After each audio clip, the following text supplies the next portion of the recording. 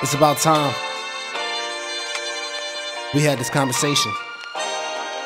Uh, to whom it may concern, I live and I learn.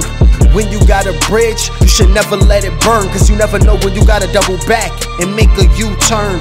And the person you confide in is no longer concerned. It's not like you gotta agree with every situation, but you should go about it without being degrading. It's amazing how we do wrong and they still have patience, and we still be foul, sometimes even flagrant.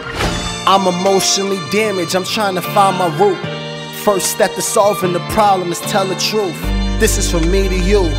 I'm an open book. I hope what you learn will make you shook. Uh, I searched through my past trying to find out where it came from. Now that I think about it, it all started when I was young. Mom and dad divorced before my teens, so it had me rattled. Back and forth in court fighting custody battles. In and out relationships like this is it.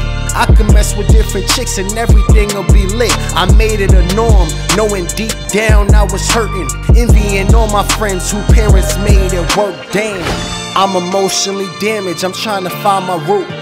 First step to solving the problem is tell the truth. This is from me to you. I'm an open book. I hope what you learn will make you shook. Uh. I'm grown, I can't keep blaming my trauma. What if a nigga did that to my sister or my mama? Of course not, I'm too quick to go switch on my ride or die, chest out. Never putting my pride to the side, honestly. I'm working the best that I can. Change don't happen overnight, I hope you understand. But it's my game plan to be better just for you. So I'm starting right now to tell you the truth. Listen up.